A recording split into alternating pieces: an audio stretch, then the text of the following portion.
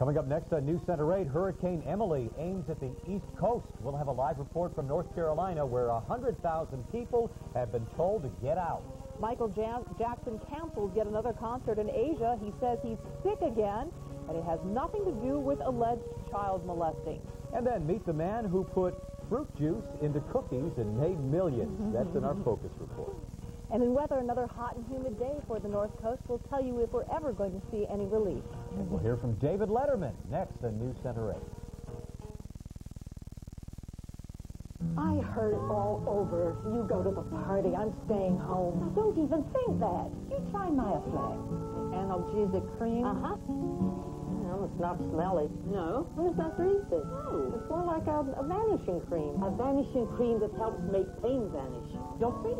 So this Myoflex penetrated deep down into the soreness and made it vanish, which must be why all those pharmacists recommend it. Here he comes. Would you mind vanish?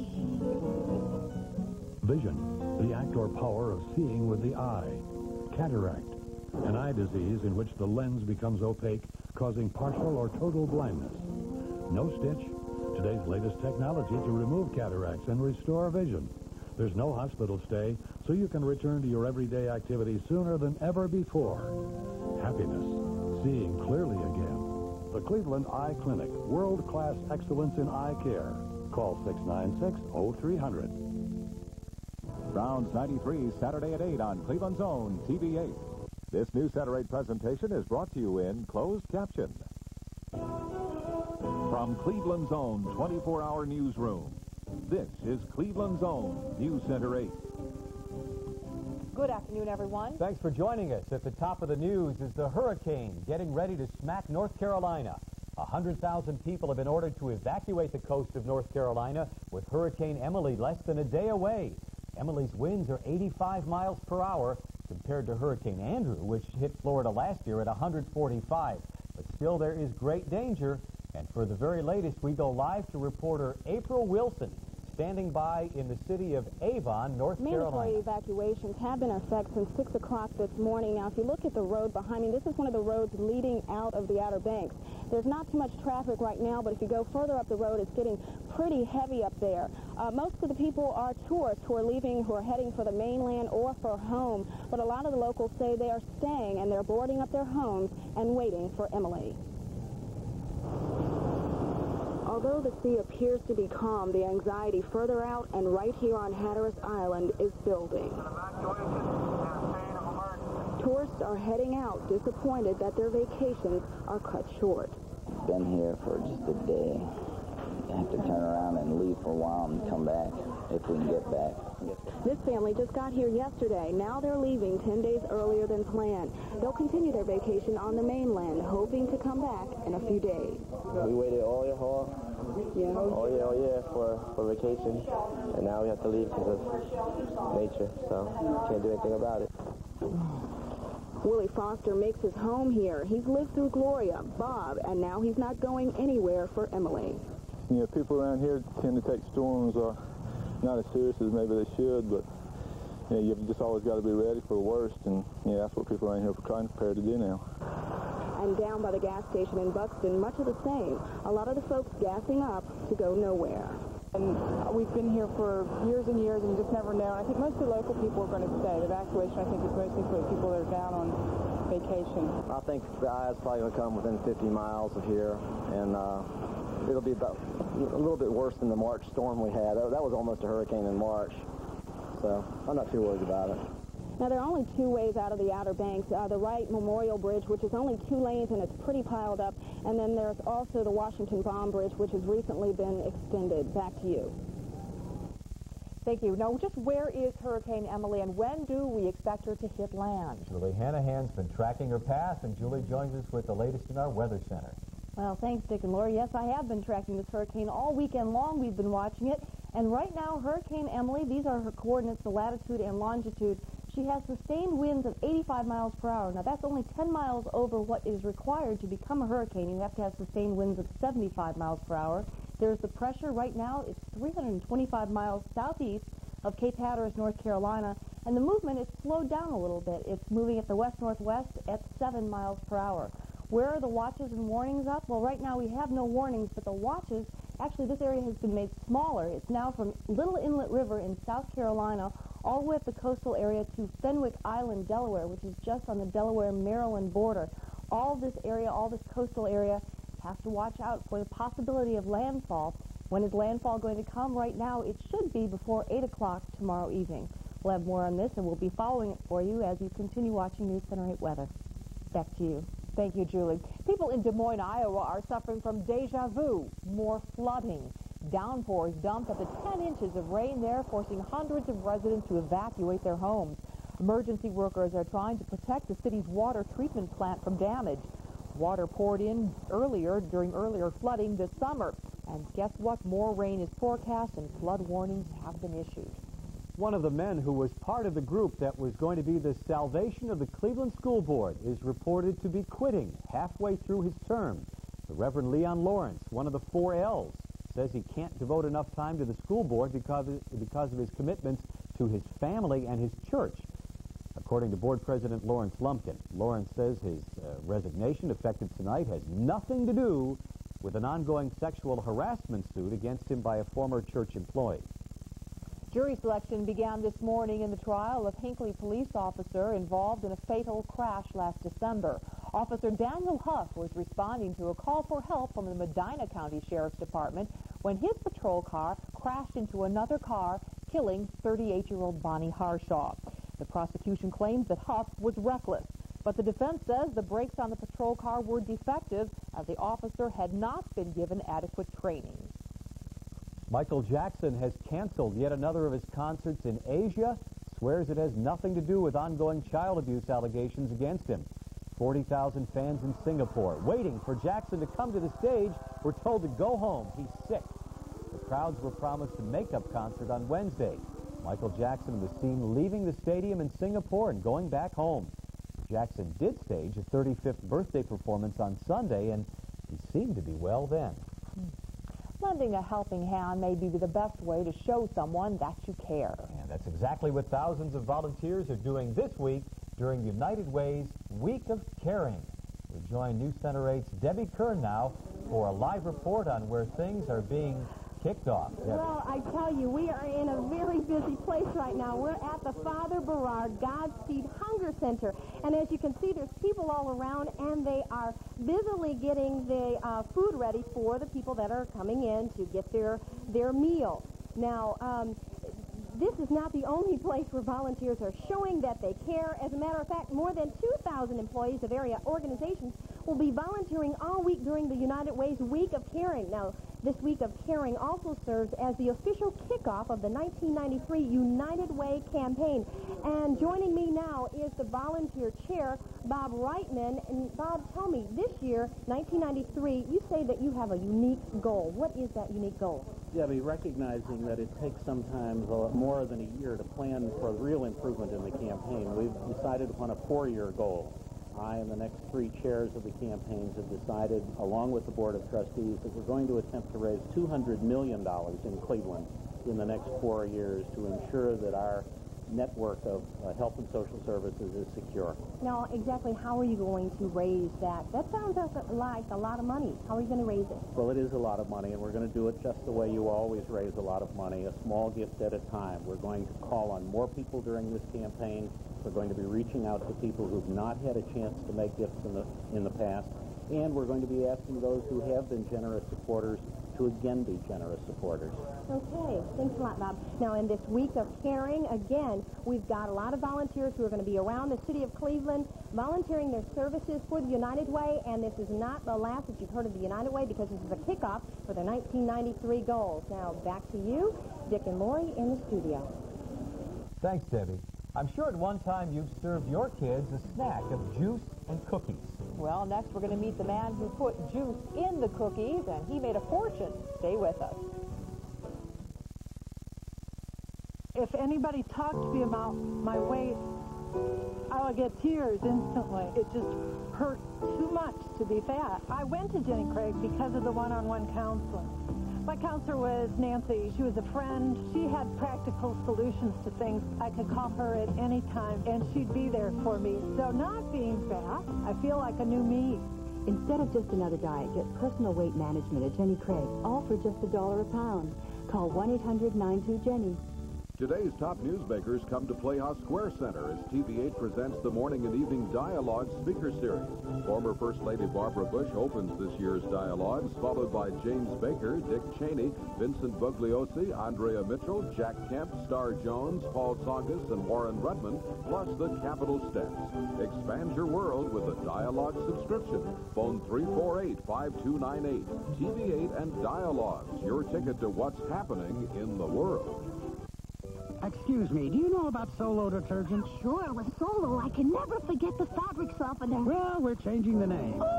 we took the softness of Solo and that great Solo scent, plus we've added more concentrated cleaning. What would you call it? You changed my Solo? I, I call that daring, nervy, brave, audacious, courageous beyond all human ability. How about bold? Yeah, bold, like I said. Solo is now called bold because to improve on Solo, you'd have to be bold. Well, there was something to see in Niagara Falls Sunday besides the famous waterfalls. Two 196-foot smokestacks were leveled on the New York side to make way for a new construction project. It took 2,400 pounds of explosives to get the job done.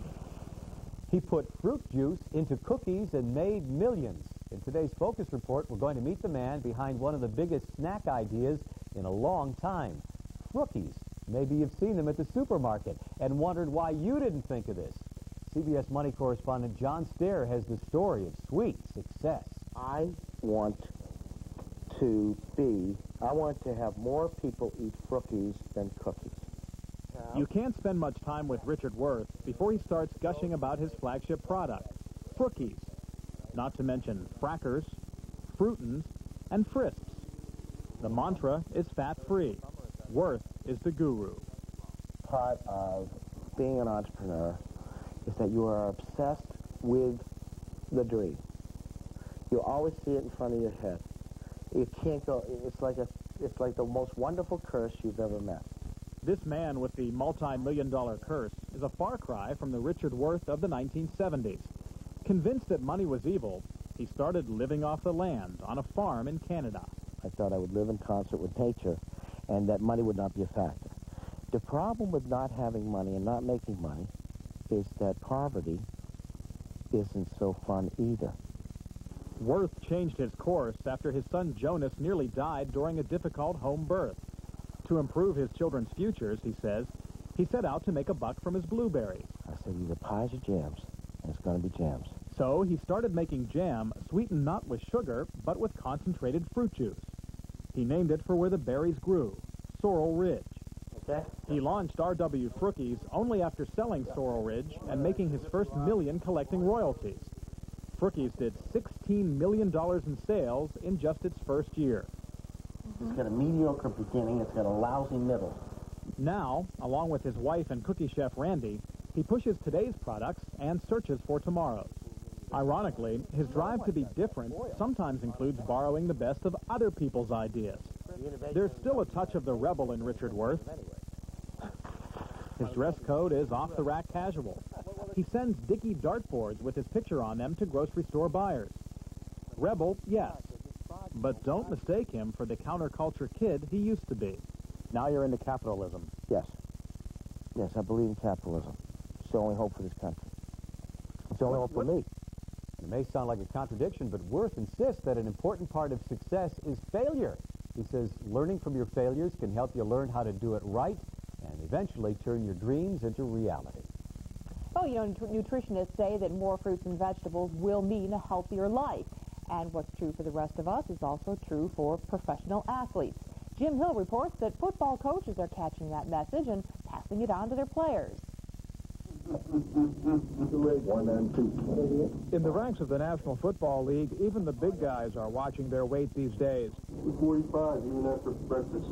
It's part of a push to cut the paunch out of pro football. The days are long gone when these guys wolf down thick steaks, a half pound of bacon, or a dozen eggs at every meal. Too much high fat and heavy protein are out, and more fruits and vegetables are in. Doctors have long linked the low-fat diet to helping prevent heart disease and cancer, but athletes are linking it to winning. I just feel better. You know, it just it, I feel better. I'm, I'm quicker, and uh, it's helped my game. So why not? This computer is set up to lose two pounds a week. The Los Angeles Raiders are among the NFL teams coaching their players in how to stay lean and mean instead of big and bulky. They use computers to follow low-fat diets for guys like six-foot five-inch defensive end Howie Long. They're losing fat and maintaining their lean body mass. Uh, they're keeping their muscle, and uh, just their whole body composition is changing. A survey done by a nonprofit foundation found 83% of the NFL's coaches are cutting back on high protein at the training table. And most teams are recommending their players eat six servings a day of fruit and vegetables. That's roughly twice the U.S. average. We don't know if there's a negative stereotype to fruits and vegetables, but uh, on average, men eat one serving less per day than women do. That may change as America's couch potatoes realize their gridiron heroes are paying more attention to broccoli than to beef. It's just clean food that makes you feel clean. It keeps you more alert.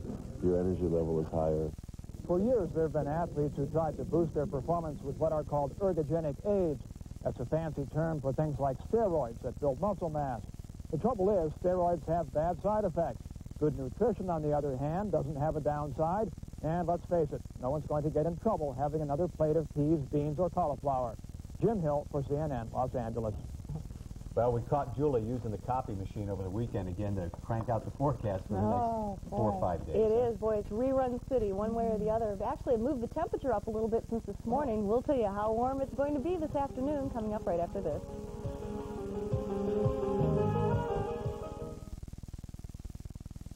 And now, the top three reasons why you should watch Tim Taylor's exclusive interview with David Letterman this Monday on News Center 8.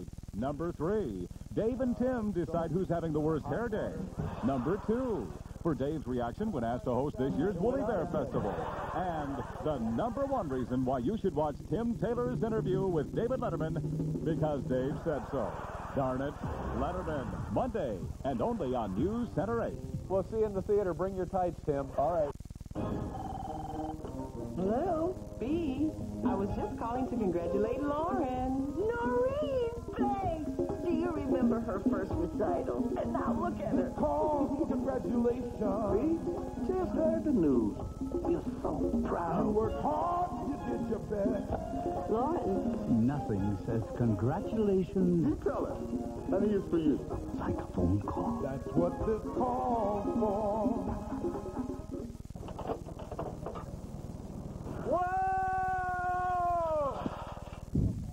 Gosh, why don't you call Empire Windows? Seriously, celebrating our 32nd anniversary, Empire Window Company is offering a double hung replacement window for as little as $159. Not sure who to call about replacement windows? Call Empire, the company that gives you quality guarantee and a price you can't afford. Call Empire now at 449-8887 or anywhere in Ohio, 1-800-EMPIRE-7. They invade by the thousands, leaving an invisible chemical trail. But ants can be stopped by the exterminator, the Orkin Man. The exterminator wipes out ant armies with the awesome power of his advanced pest control technology.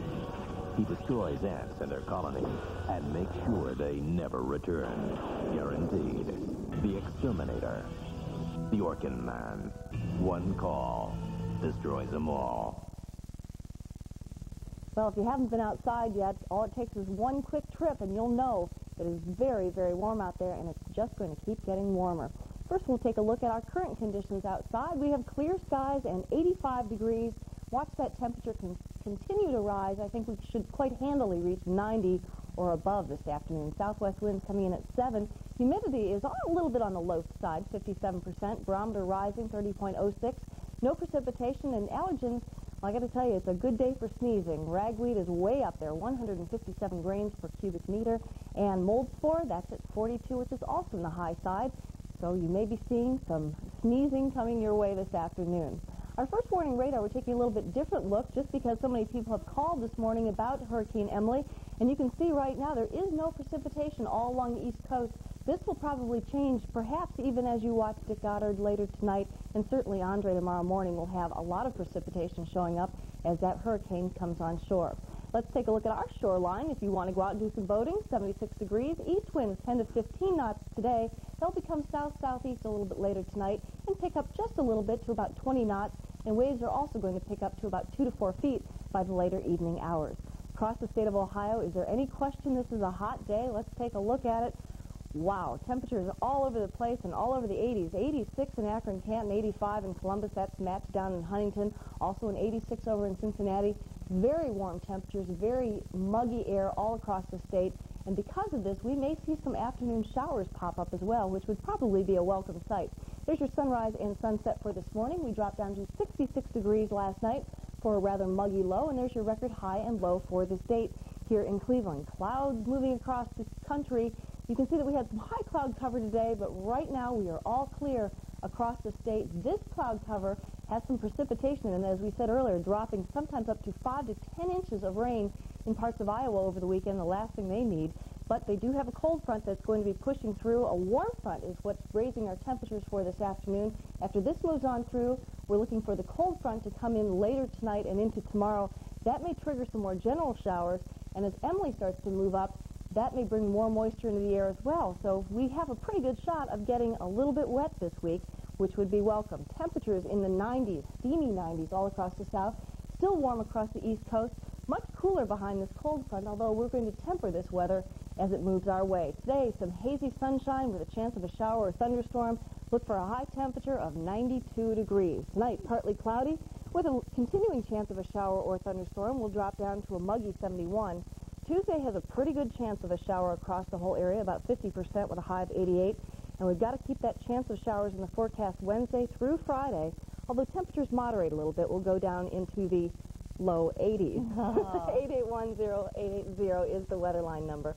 And unfortunately, it should be about 78 degrees as our normal high, but we're exceeding that by quite a bit. All right. Okay. Thanks, Julie. Mhm. Wall Street today starts the week on the uh, upside. The Dow Industrial Average up almost four at 36.44, trading light. Average share up seven cents, and gold at 368.70. That's a little lower. Quick sports note here at noon: the Browns have cut their squad to the regular season number of 47 players. Names haven't been released yet, but there aren't too many surprises expected. Tomorrow, the Browns can sign up another six players after they clear a 24-hour waiver period. And tonight is the night the television world is awaiting. What does David Letterman have to say about his much ballyhooed premiere right here on TV8? We'll find out when we come back.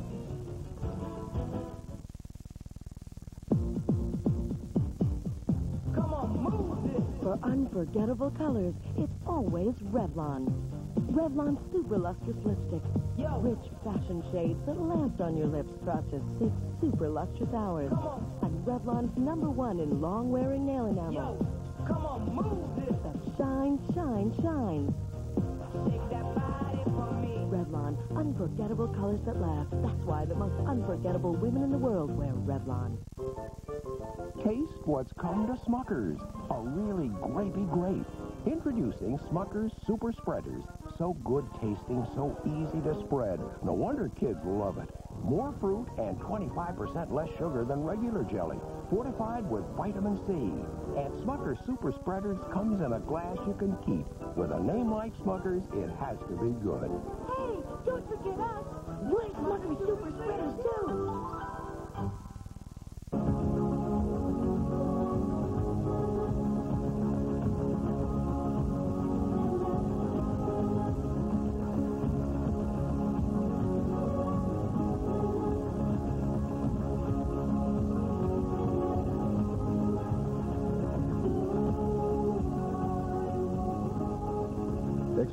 The sights, the sounds, the magic of the world's rainforests at Cleveland Metro Park Zoo. National City supports the zoo. Want it all? Like top quality at bottom dollar? You got it. Like nothing to pay right now? You got it at Kronheim's. Get all you want in a furniture sale. Totally. Kronheim's total inventory is 30 to 63% off, including breathtaking new introductions for this fall with no down payment, no payments until February. Want it all? You got it at Kronheim's now. The total sale, the best total deal you'll find through Monday only at Kronheim's. Well, you might just want to squeeze in a nap today so you can catch the premiere of The Late Show with David Letterman tonight right here on TV8 at 1130.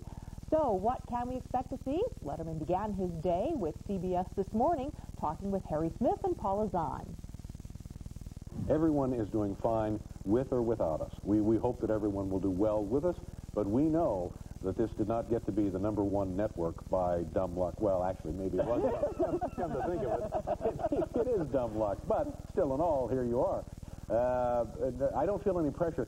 You know what it is? If, if, when you enjoy doing something, if you, like if you go on a vacation that's too long, like it's a week long or a half a week too long, you can hardly wait to get back because you miss what you're doing. That's how I feel now. And, and my only uh, pressure is the, the way I would have pressure under any other show uh, circumstance, which is we just want to do a nice show. We want to, you know, get these under our belt and, and, and kind of start working on the actual content of the show. I mean, I've been doing a lot of silly things over the last six months um, that I normally would not be doing, but because of the job change, I've been doing these other things. Like and, what? Oh, and so traveling. It's fun to get out of New York City and, and talk to people with a different perspective uh, on your work, on television generally. Uh, it's fun to meet other people. You know, and this is no surprise. This is no great insight here, but then look who you're talking to.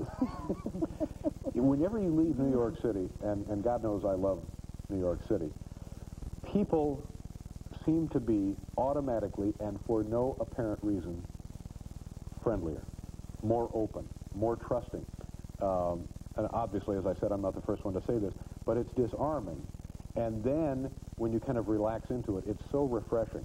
And it just is like a miracle. Now, wait a minute. You, are you, you're sincere? This is, this is not, this Yeah. is not the setup for, uh... No. No. You're talking about our Midwestern roots? I'm, I'm talking about go go anywhere. Go anywhere. It's because people in New York City have other things. Their focus, their attention, their energy is, is placed on other activities, which is, you know, by and large, survival. That they have, have lost this kind of openness. I, I- I'm not saying this to criticize New York City. I'm just saying it is a wonder when you experience it by leaving the city. I was I was in Baltimore, a huge city, uh, a very large, very sophisticated uh, metropolis or metroplex. And uh, people there were very nice. I've been to Indiana. I've, I've been uh, to Texas. I've, I've been to Missouri. Uh, I've been to Tennessee. They're just nice. For no, no reason they're nice. And you think, well, this is probably more what God had in mind for folks. You know? Don't you think? Once again, Letterman premieres here on TV8 at 11.30 tonight. On News Center 8 at 5 and at 6 o'clock today, join our own Tim Taylor for his exclusive interview with David Letterman, where they discuss the hassles of overly curly hair, among other very pressing subjects. And don't go away, we'll be right back. When you're smiling, when you're smiling, the whole You know, people who start chewing Freedent because it won't stick to most dental words keep chewing it because it tastes great. That's why they stick with the gum that won't. Non-stick the perfect gum for almost perfect teeth.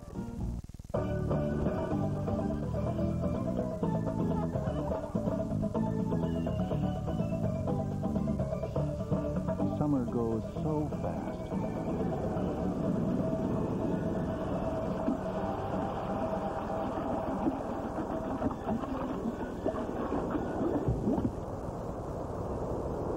Get to the point before winter does.